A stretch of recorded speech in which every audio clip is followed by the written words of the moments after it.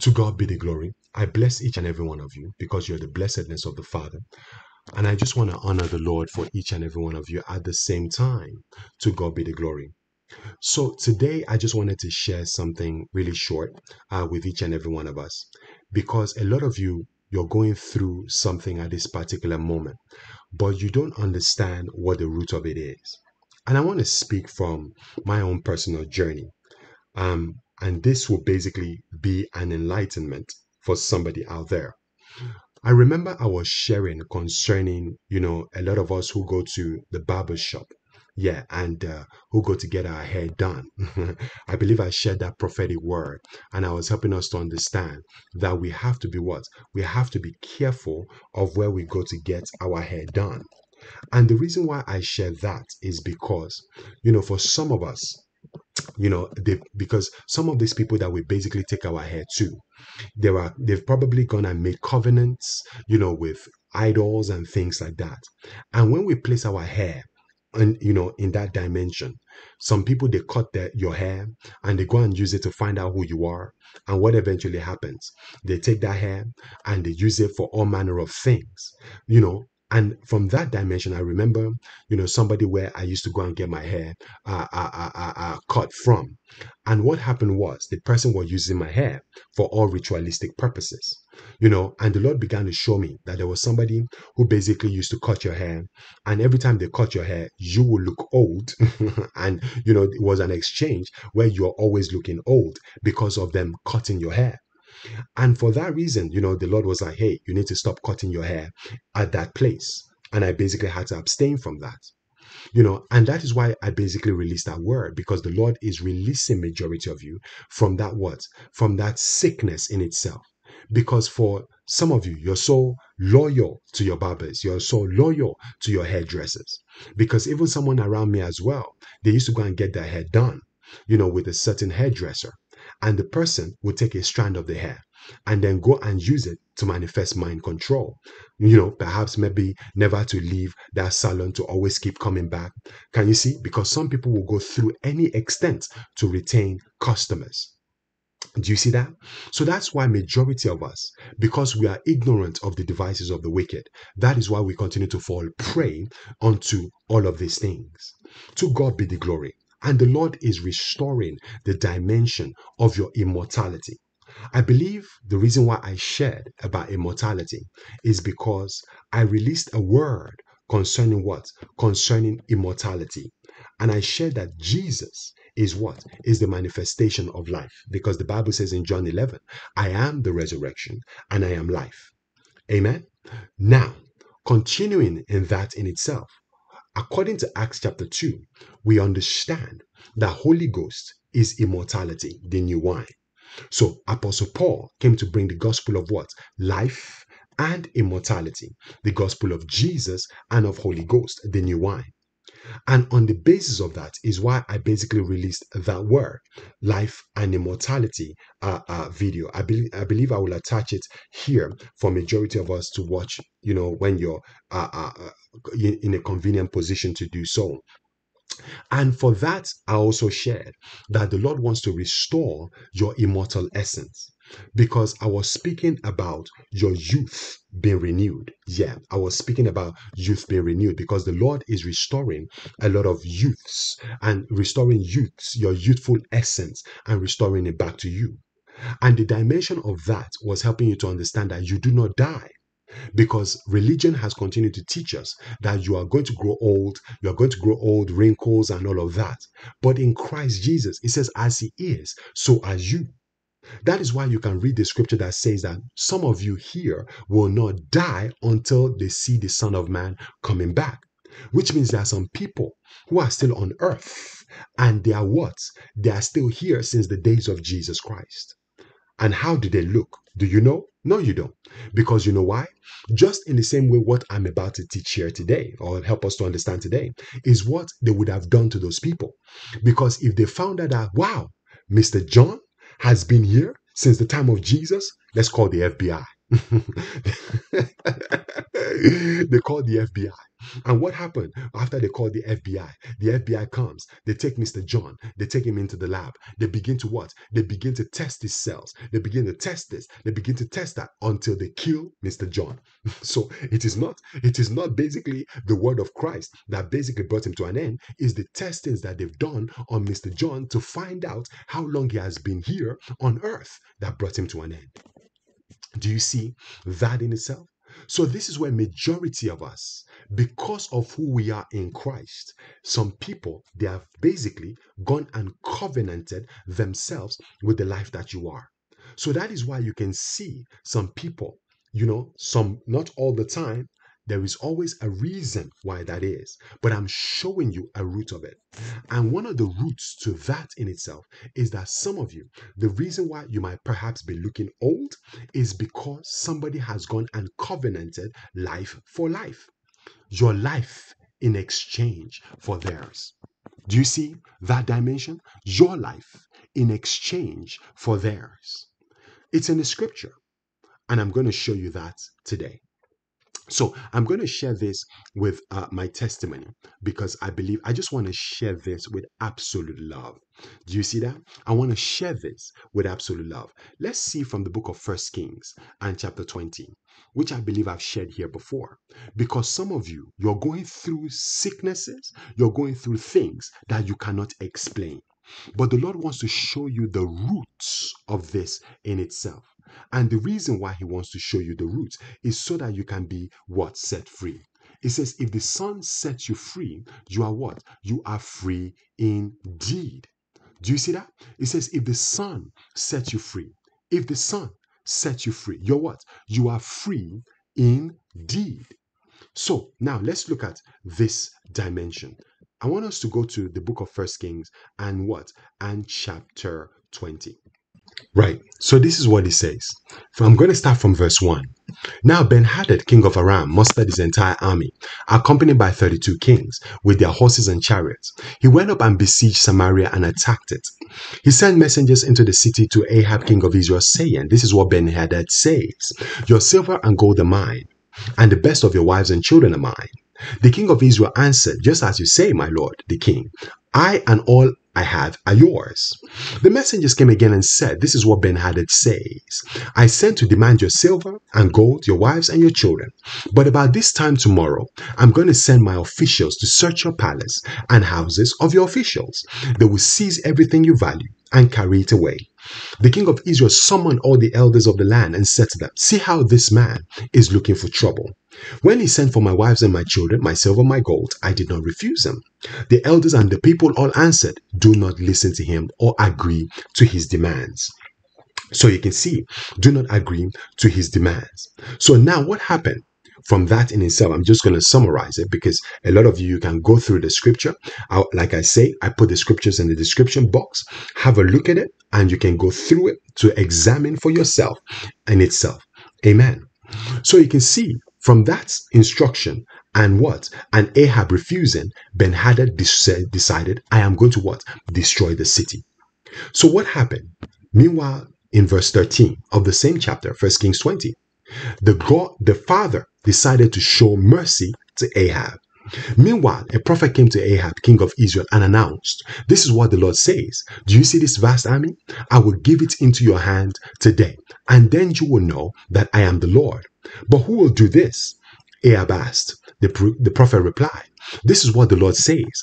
The junior officers under the provincial commanders will do it. And who will start the battle? He asked. The prophet answered, You will. So you can see, this is why I always encourage majority of the people here right? That when situation arises, because a lot of you, when things happen, you go to a prophet first, you go to a, a pastor first, you go to a, a teacher first, an apostle first, and all of those things, hoping to get what? A counsel from them. The Bible declares, according to Proverbs 11 and 14, the scripture says, Where no counsel is, the people fall, but in the multitude of counselors, there is safety. That scripture can sometimes be wrong. Yes, just in the because it's in the Bible does not make it absolutely right. Why? Because God corrected it. Because why did he correct it? Isaiah 11, he gave us a preference. It says here that the spirit of counsel, where is the spirit of counsel? In the Father. So that means seek first the kingdom of God. For every counsel that you're asking for, go to the Lord first. And then the Lord can direct you to the person who has the word of the Lord in their mouth. So allow the Lord to guide and to lead you. Not thinking because that person is my pastor, because that person is my apostle, because that person is my prophet, I can go to them and ask them. Because sometimes they can give you a counsel that can lead you into trouble. Let God, let Christ be your first point of contact.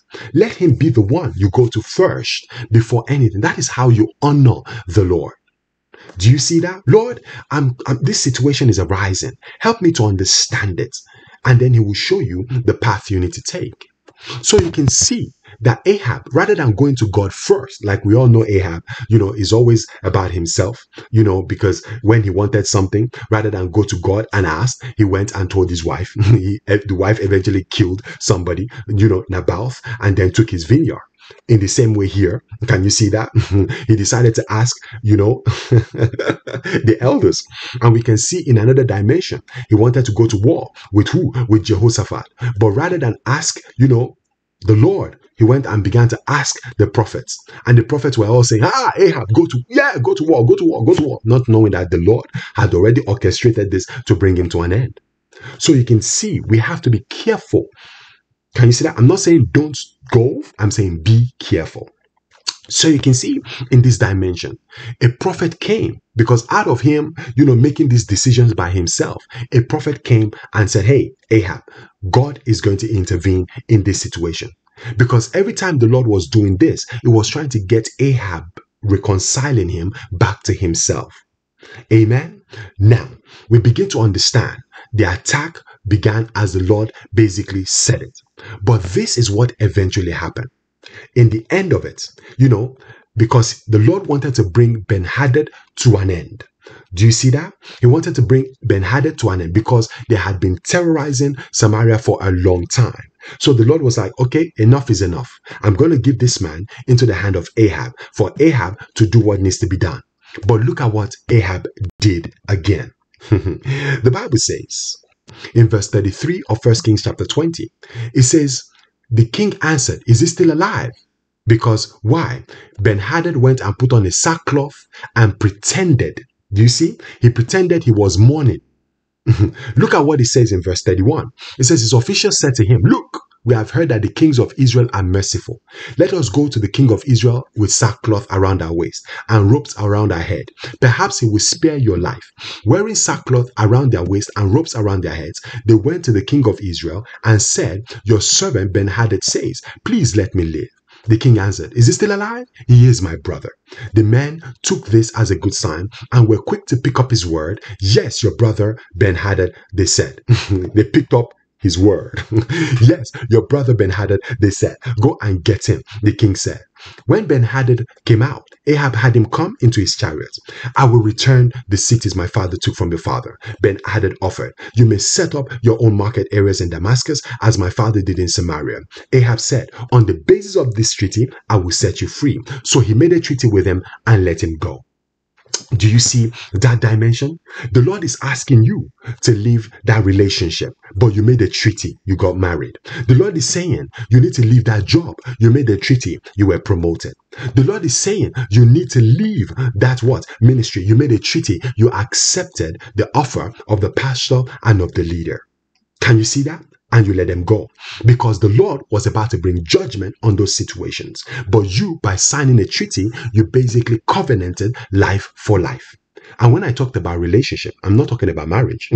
no, not at all. So don't get excited and saying, hey, the Lord is telling me to leave this marriage. No, I did not say that. I said a relationship, which the Lord has not ordained, which means you're not yet married. You're in a relationship that the Lord has said, let that man go, let that woman go. So, do you see that in itself? They made a treaty and then he let him go because God wanted to bring that to an end completely so that they can have peace, but they went and made a treaty. And on the basis of that, look at what Ben Hadad did. He pretended So, how many people are pretending to be your friend? Like I said, the barber, the hairdresser, they pretended that they are good, but what they were doing behind the scene was completely evil. Do you see? They know that you are merciful. That's why I said to some of you, you are so nice. You are so good. You are so kind. You are so compassionate that people use that in itself as a weakness against you. Do you see that?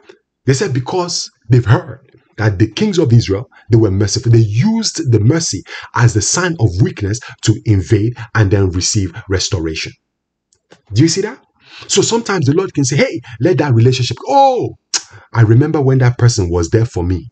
they were there for me many years ago. Yeah, they, they were there for me. When I was down, they were there for me. Ah, leave that job. Oh, the boss. When, when, when I couldn't pay my rent, he gave me advance. When I needed him the most, he came through. Leave that woman alone. Oh, she was so kind to me. Remember when I, when I didn't have anything to eat, she would bring me dinner every single time. Do you see that in itself? Not realizing there was something behind it. And that is why the Bible tells us not to repay evil with evil, but we should repay evil with blessings. Do you see that in itself? Because you're the dimension of love. So that is why I always encourage majority of you. Because you love that person does not need, mean that you have to relate with them. Because you are so compassionate with people does not mean you have to be friends with people. That's why the Bible tells you, I have placed a boundary lines for you in favorable places. Can you see that? So that's why the Lord places boundaries. That's the beauty of it. Can you see with Ahab? Can you see how they pretended? They said he wore sackcloth. He said the kings were merciful. He said they would spare your life. And what happened? He used that against Ahab and his life was spared. And even made a treaty. I will give you this. I will give you that. So how many people have made promises to you? And you have stayed on because of that promise. If you stay on, we'll, we'll, I will do this for you. The Lord has been calling you, get out.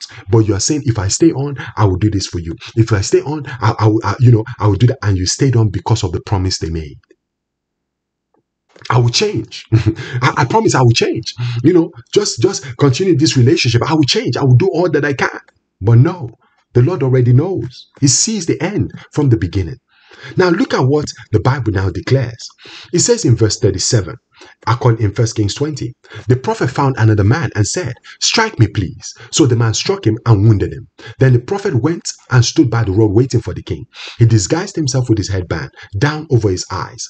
As the king passed by, the prophet called out to him, Your servant went into a thick of the battle. And someone came to me with a captive and said, God, this man, if he's missing, it will be life for life or you must pay a talent of, of silver. While your servant was busy here and there, the man disappeared. That is your sentence, the king of Israel said. You have pronounced it yourself. Then the prophet quickly removed the headband from his eyes, and the king of Israel recognized him as one of the prophets. He said to the king, This is what the Lord says You have set free a man I had determined should die. Therefore, it is your life for his life, your people for his people. Amen. Now, this is where I want to share my own testimony because I have shared it here before, you know, and I want to share because for a lot of you, the reason why you're going through what you're going through, some of you, you know, is sickness. Some of you, you know, is like things are just not working out the way it ought to work out. That is because some of you have gone and covenanted life for life with people that you did not understand they were not for you. Can you see in the book of Joshua, chapter 9? The Bible says that they came to Joshua pretending, just in the same way Ben Hadad pretended to who? To Ahab. The Gideonites, the Gibeonites, sorry, they basically they basically came to Gideon on the on, sorry to to Joshua, pretending that they were from far away, and because you see that Ahab did not inquire of the Lord because Joshua did not inquire of the Lord. He made a vow with them that he could not what? He could not release himself from. Do you see that in itself? And then eventually, they were now fighting battles they ought not to fight. So you can see when God tells you to stay away, you begin to fight battles that you're fighting battles over your health. It's not a battle over your health. No, not at all. It has never been a battle over your health because he says that what? You will prosper in health as your soul is prospering but it's because of a covenant that was done somewhere. I'm helping somebody to understand because for majority of you, it might not be in this dimension, but you're understanding what I am speaking. So you can see, because from my testimony, I want to share it from this dimension. So I've shared with each and every one of us, and this is I'm sharing it again, and I'm just sharing this with absolute love. Because I remember when I was in a union with somebody, you know, who abandoned and left. The Lord basically was telling me before I went into that union, with this person, I don't want you to go into that union. No, not at all. But I was not paying attention to the Lord. I was not listening to what the Lord was saying. Because, you know, my relationship with the Lord, I thought I knew God, but I realize now that then I did not know Him at all. I am still getting to know Him. So it's a place where you know, in that dimension, the Lord was saying, No, don't go into that relationship. No, I don't want you to. For every sign, it was a no, no, no, no, no. But I did not listen to the Father. No, not at all. So I went into that relationship. And after the union was blessed in itself, you know, it was not legal, it was just blessed. I was helping to understand that the Lord began to show me. He said, This person, I was about to take their life. And I'm like, Really? He said, Yes. He said, Remember the day they were in the car and they were driving, they were praying? He said, Yes. He said, That was the day that they were ready to go. But you intervened. Why? Because the mother of that person was into witchcraft. She's in the marine kingdom. The father is into occult, is in the occultic. So you can see that the Lord was about to bring some things to an end because he was bringing justice into that family because of what? The wickedness they had always been doing. So you can see, like I said, the children might be innocent of this. They might not know, you know, in itself, but because of the parents. So it's a place where what eventually happened, not listening to the Lord, I went into union, and the Lord now began to say, you know, I'm talking about the restoration of what? Immortal essence. He said, when you went into union with them, do you know what happened? It says, you gave up your immortal essence. And now they have covenanted because of the life for life exchange. Now they have covenanted with your immortal essence. So that is why you're experiencing what you're experiencing because the mother went to a witch doctor and gone and done the exchange of life for a life. Do you see that covenant? So it was a place where I had to repent because I gave that up you know, in ignorance, not realizing that it was giving it up because of what the mother had gone and done. Because the mother did not like me. The father did not like me because the father was trying to offer me up as a sacrifice to his cult. The mother did not like me. That's why she was expecting that once the covenant was done and sealed, do you know what will happen? I will eventually die. The daughter will become wealthy and she will continue to look younger and continue to prosper. Do you see that dimension? I'm sure a lot of you have seen uh, uh, the movie. Uh, uh, uh I, I remember this animated movie, Tangled. Yeah. So in the movie Tangled, what happened? The witch basically kidnapped the daughter. And then what happened? Every time the daughter sang, the witch would look younger. Do you see that dimension? So that is the covenant. You know, just like that in itself is the covenant she went and took out to transfer my inheritance, the immortal essence. So basically, she transferred all the sickness of the children upon my life so that they will become well and I will continue to grow sick and eventually die. Do you see the very wickedness the mother is involved in? And, you know, and that in itself is my own disobedience because the Lord warned me, but I did not listen to the Lord. So you can begin to understand that majority of you, this is the reason why he has been calling you out because you don't know what is behind the scene. So it was until the daughter abandoned and left, the Lord now began to show me what the mother actually went and done and is still doing you can see that in itself. Because the Lord has, you know, the Lord in his infinite mercy had to bring me out of that. Do you see that? And he allowed the daughter to abandon in itself, to walk away from it. And that was the freedom the Lord was giving me. So you can begin to understand the very dimension of majority of you as well. Because some of you, some people have gone to covenant your life without you even knowing. You can see that dimension. They've gone and done it without you knowing. And it was an exchange for life for life. So that is why some people, when they've done what they've done, they will tell you, please pray for me. Please pray for me. And that was what the mother was doing. You know, it would be a place, pray for me, you know, pray. And the Lord would be like, don't do it, you know. And at some point, the Lord would say, yeah, don't, don't worry, you just do it. You, you pray for her because you're sowing a seed of love. So in the place of that in itself, it was a seed of love. So that is why I was helping majority of you. Do not repay evil with evil, but repay evil with blessing. So that in all itself, the Lord was allowing me to sow seed of love, you know, in the family, with the father, with the mother, with the children. I sowed the seed of love. And eventually, when the daughter abandoned, the Lord said, now that's it. Do you see that dimension? So the love of the Father is now basically manifesting in my life to reconcile all things back to myself.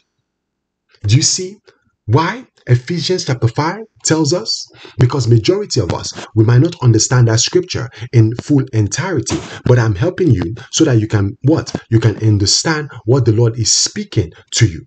It says, For you were once darkness. Can you see?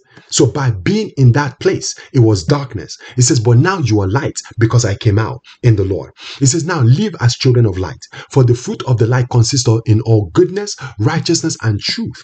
And find out what pleases the Lord. It says, have nothing to do with the fruitless deeds of darkness, but rather expose them. So it is shameful even to mention what the disobedient do in secret, but everything exposed by the light becomes visible, and everything that is illuminated becomes a light. So you can see the whole entirety of the journey in which I'm sharing with you. Because what happened, it was through the marriage she began to what? Through the blessing of the marriage that she began to what? She began to, you know, allow, she began to use the covenant to manifest whatever she was manifesting. But to God be the glory because the marriage was not legal. So that was, that's why I always say that he will always give you a way of escape.